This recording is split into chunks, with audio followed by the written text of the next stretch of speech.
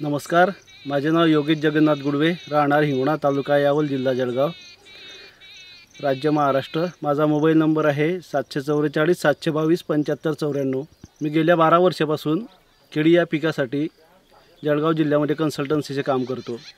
सध्या केळी या पिकावरती विविध प्रश्न उपस्थित झालेले आहेत. त्यामध्ये प्रामुख्याने जमीन शेणखते रासायनिक खते पाण्याचा वापर आणि जीवाणू खतांचा वापर.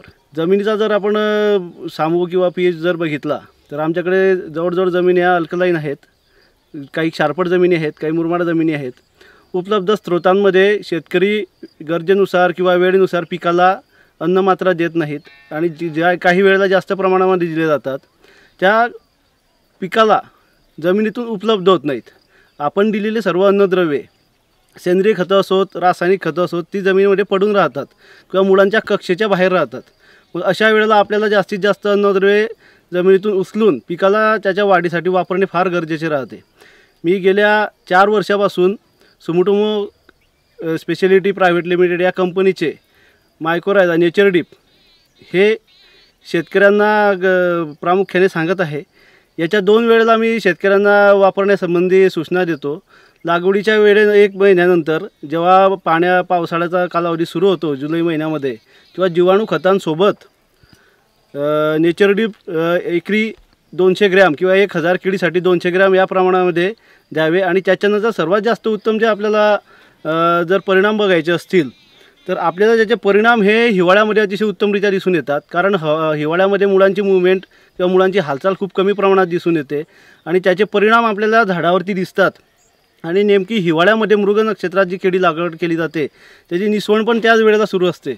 म्हणून पिकाला जास्तीत जास्त अन्नद्रव्ये उपलब्ध व्हावीत जेणेकरून शेतकऱ्यांनी गेल्या चार महिन्यांमध्ये जी अन्नद्रव्ये पिकाला दिलेली आहेत त्याचा पुरेपूर फायदा पिकाला व्हा या अनु अनुषंगाने आपण नेचर डिपचा वापर हिवाळ्यामध्ये जास्तीत जास्त शेतकऱ्यांना करायला सांगतो. त्याची जे परिणाम दिसून आलेले आहेत शेतकऱ्यांना ते असे उत्तम दिसून आलेले आहेत.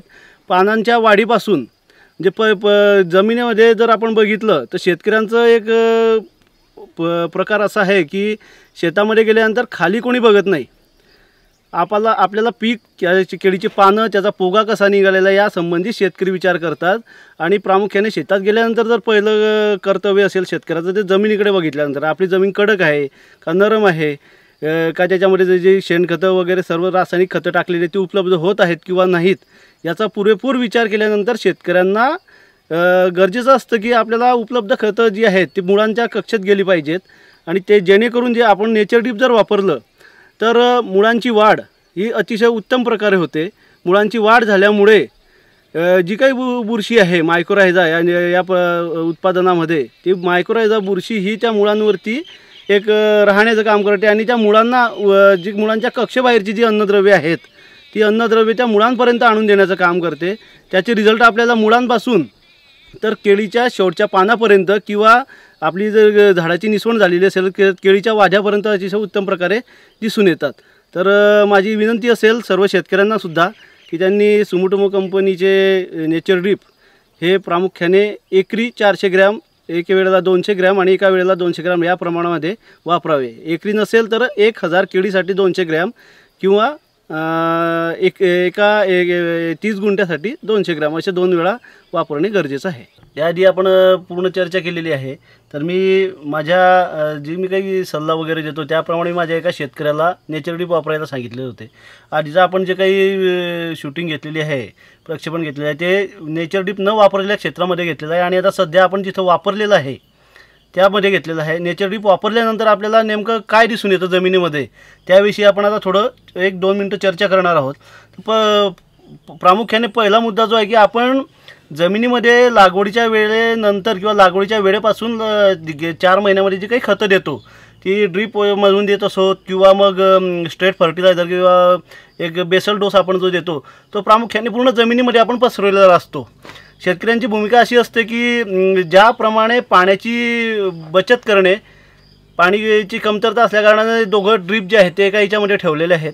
दुसरं महत्त्वाचं असं आहे की जे खतं आहेत ते दोघं ओळींमध्ये टाकलेली आहेत सुरुवातीला जो आपण बेसल डोस टाकतो त्यावेळेला. आणि नंतर मग ड्रीपमधून आपण याला फर्टिगेशन वगैरे केलेलं आहे.